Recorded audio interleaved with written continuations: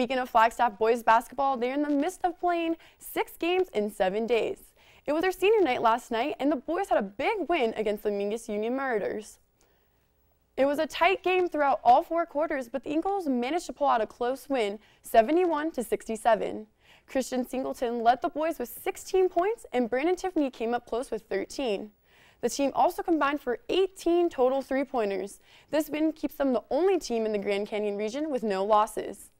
The Flagstaff boys face Cactus Shadows tonight and have one day off before facing local rivals Coconino on Friday.